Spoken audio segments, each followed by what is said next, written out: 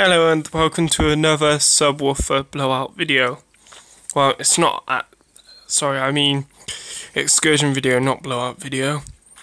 This is a very nice woofer I got off my dad. It's rated at 35 watts, 8 ohms. And it's got a decently chunky magnet. But this is the song I'm playing.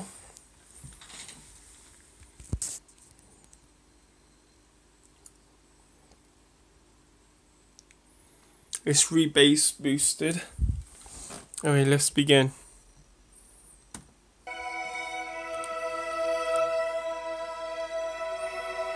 Twenty.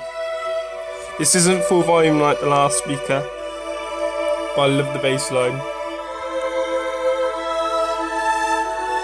I've never tried it on this speaker before, guys.